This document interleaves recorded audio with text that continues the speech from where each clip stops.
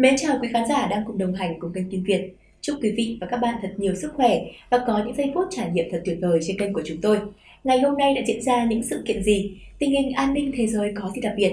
Quý vị và các bạn hãy cùng cập nhật với chúng tôi qua phần điểm tin chính.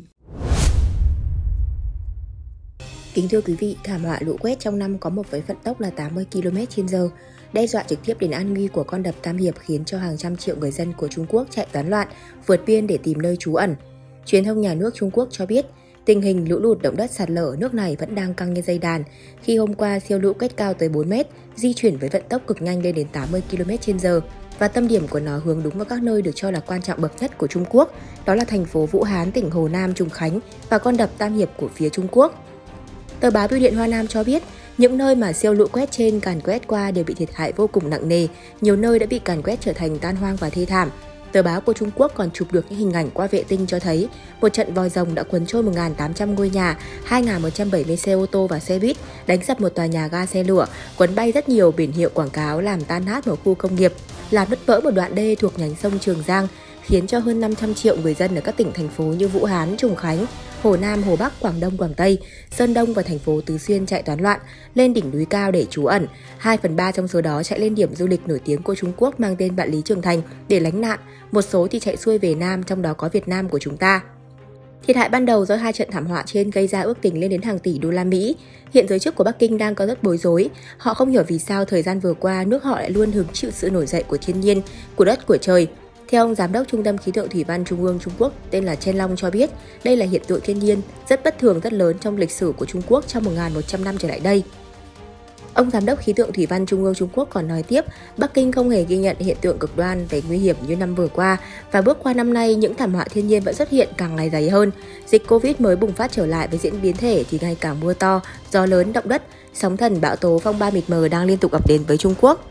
Vào hôm qua, một trận lũ quét cao 4 mét và một trận vòi rồng lại tiếp tục càn quét Bắc Kinh, liên tục ngày đêm không ngừng nghỉ vào lãnh thổ của Trung Quốc, làm cho nền kinh tế nước này đã thiệt hại nặng nề nay lại càng kiệt quệ hơn. Theo các nhà quan sát cho biết, hiện tại Trung Quốc đang phải đối mặt với nhiều khó khăn thử thách đối với cả thiên nhiên. Trong những ngày vừa qua, liên tục mưa to gió lớn ập xuống đầu của phía Trung Quốc làm cho ngập lụt khắp mọi nơi. Có những nơi nước dâng từ 3 đến 4 mét, có những nơi trũng sâu ngập lên đến 9 đến 10 mét. Những ngôi nhà xây từ 3 đến 5 tầng cũng bị ngập đến tầng 3. Tuy nhiên, ông Tập được cho là không quan tâm đến những việc hạn hán lũ lụt kể trên. Ông ta vẫn nhăm nhe đem quân đội của Bắc Kinh đi gây gổ, gây hấn với cả các nước trong khu vực và trên thế giới. Không một ai dám đối đầu với Trung Quốc ngoài nước Mỹ. Theo nhiều trang tin thịnh trống vào sáng nay cho biết, sau nhiều tuần mưa lũ nghiêm trọng ở Tây Nam và miền Trung Trung Quốc, những cơn mưa lớn gây lũ lụt dọc sông Dương Tử khiến gần 300.000 người sơ tán ở các tỉnh An Huy, Giang Tây do nhà cửa bị phá hủy, đường phố tê liệt và những người bị mắc kẹt mà không có thức ăn hoặc thủy điện. Tân Hoa xã đưa tin khoảng 140.000 người sơ tán vào hôm qua tại An Huy khi hơn 2.000 căn nhà bị hư hại sau một tuần mưa bão ở bờ biển phía đông. Tại khu vực Giang Tây có hơn 151.000 người được sơ tán từ hai ngày trước, gần 20.000 ngôi nhà bị hư hại nặng nề. Và hôm qua, Trung tâm Khí tượng Quốc gia Trung Quốc cảnh báo nhiều trận mưa lớn sẽ diễn ra ở các vùng phía Nam trong những ngày tới. Hàng trăm nhân viên cứu hộ đã được triển khai tại các khu vực bị ảnh hưởng, tổ chức sơ tán và cứu trợ. Video được lan truyền trên mạng xã hội trong những ngày gần đây cho thấy những ngôi nhà ba tầng bị sập, đồ đạc trôi nổi trong nước bùn và lính cứu hỏa đang cố gắng giúp người dân thoát hiểm từ cửa sổ căn hộ đến nơi an toàn. Theo Tân Hoa xã, Ủy ban Thủy lợi sông Tương Tử hôm qua đã đưa ra cảnh báo màu cam về nguy cơ lũ lụt ở vùng hạ lưu và trung lưu của con sông dài nhất Trung Quốc, trong bối cảnh mưa lớn được dự đoán tiếp tục diễn ra trong khu vực này trong 3 ngày tới. Trong khi đó, cơ quan phòng chống lũ và hạn hán của tỉnh Hồ Bắc tỉnh nằm ở khu vực trung lưu sông Thương Tử cũng đã nâng mức ứng phó khẩn cấp lũ lụt từ cấp 3 lên cấp 2, bắt đầu từ 15 giờ theo giờ địa phương. Tính đến chiều ngày hôm qua, tỉnh Hồ Bắc đã ghi nhận 140 người tử vong và 15 người mất tích sau khi mưa lớn chút xuống 44 quận tại tỉnh này, làm ảnh hưởng đến cuộc sống của hơn 9 triệu người. Chính quyền tỉnh Hồ Bắc đã huy động 303.200 người tuần tra dọc các con đê sông để cảnh báo về nguy cơ lũ lụt. Cơ quan xử lý tình trạng khẩn cấp của tỉnh đã sơ tán 17.000 người đến nơi an toàn và huy động 85 chuyến bay tuần tra để theo dõi thảm họa lũ lụt và địa chất. Đài truyền hình Trung ương Trung Quốc vừa đưa tin vào lúc khoảng 1 giờ 30 sáng ngày hôm qua hồ chứa nước Gia Trị đã bị vỡ. Trong khi mực nước tại hồ chứa khác là Trường Giang và sông Giải Lộ cũng đã vượt mức báo động, có nguy cơ sẽ vỡ bất kỳ lúc nào. Theo thống kê sơ bộ đã có 31 người thiệt mạng, 100.000 người buộc phải di rời đi chỗ khác, lượng mưa trung bình đã lên tới hơn 500 mm. Theo cơ quan khí tượng, đây là mức cao kỷ lục trong 60 năm qua tại đây và chỉ trong 3 ngày đã đạt được lượng mưa tương đương trung bình cả một năm. Truyền thông địa phương đã dẫn lời một nhà khí tượng học cho biết trong 3 ngày qua, Nhạc Dương đã chứng kiến lượng mưa ngàn năm một có một. Trong video ngày hôm nay, các bạn sẽ thấy một cảnh tượng kinh hoàng có lẽ trong đời chưa từng thấy và chưa từng trải qua, nhưng đã và đang xảy ra tại tỉnh Giang Tây Trung Quốc. Trước khi xảy ra sự cố vỡ đập này, quân đội Trung Quốc đã cảnh báo rằng con đập gia trị này có thể bị vỡ tiếp bất kỳ lúc nào vì cách đây 2 ngày nó đã bị vỡ, dài khoảng 20 mét. Quân đội đã điều động khoảng 20.000 binh sĩ đến gia cố con đập nhưng bất thành. Theo các video được truyền thông Trung Quốc đăng tải, tại Vũ Châu, một thành phố ở tây nam của Nhạc Dương, đường phố biến thành dòng nước xoáy, cuốn trôi ô tô và nhiều phương tiện khác. Hình ảnh lan truyền trên mạng xã hội Weibo của Trung Quốc cho thấy nhà để xe của một trung tâm mua sắm ở Nhạc Dương đã bị ngập lụt và lực lượng cứu hộ đã sơ tán những hành khách mắc kẹt bên trong hành khách phải thoát hiểm bằng lối đi riêng. Tuy nhiên đã có tới 31 người tử vong do không kịp thoát do nước ngập đến. Một người sống sót viết trên mạng xã hội, tôi thật sự sợ hãi nhưng điều đáng sợ nhất không phải là nước mà là nguồn dưỡng khí trong xe ngày càng giảm đi. Do trời mưa, nhà chức trách đã tạm ngừng dịch vụ xe buýt vì các phương tiện này chạy bằng điện. Một người dân Nhạc Dương cho biết, đó là lý do tại sao nhiều người lựa chọn đi xe riêng và thảm kịch đã xảy ra, ông nói. Truyền thông báo cáo đường hầm trung tâm mua sắm đã hoàn toàn thất thủ, toàn bộ tuyến số 5 và tuyến số 7 bị ngập lụt. Nhiều người mất tích và ít nhất hàng ngàn người bị mắc kẹt trong 7 giờ.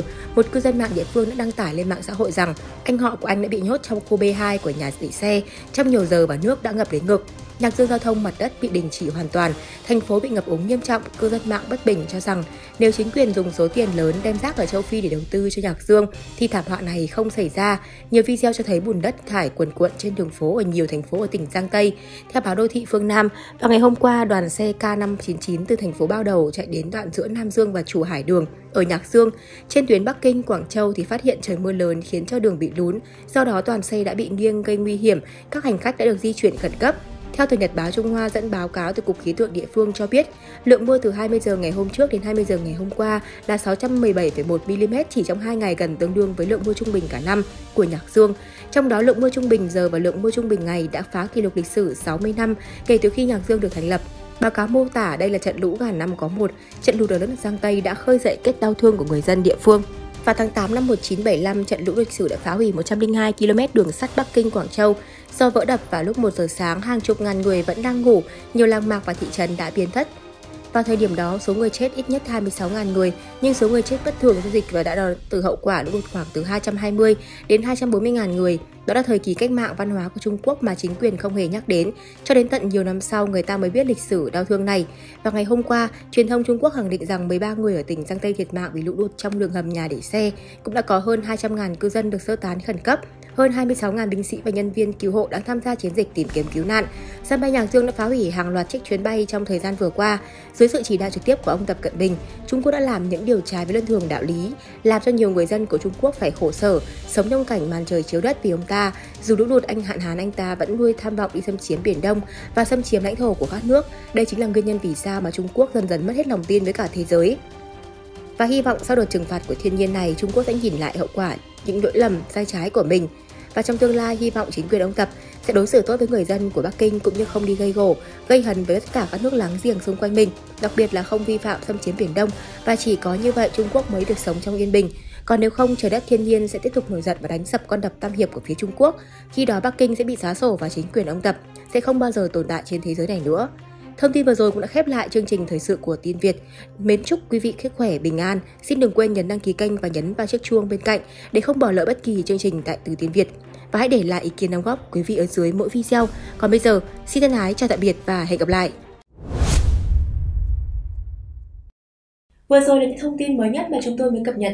Quý vị và các bạn cũng đừng quên đăng ký kênh và ấn nút chuông để nhận được những thông tin mới nhất về video của chúng tôi. Cảm ơn quý vị đã quan tâm và theo dõi. Còn bây giờ, xin chào và hẹn gặp lại.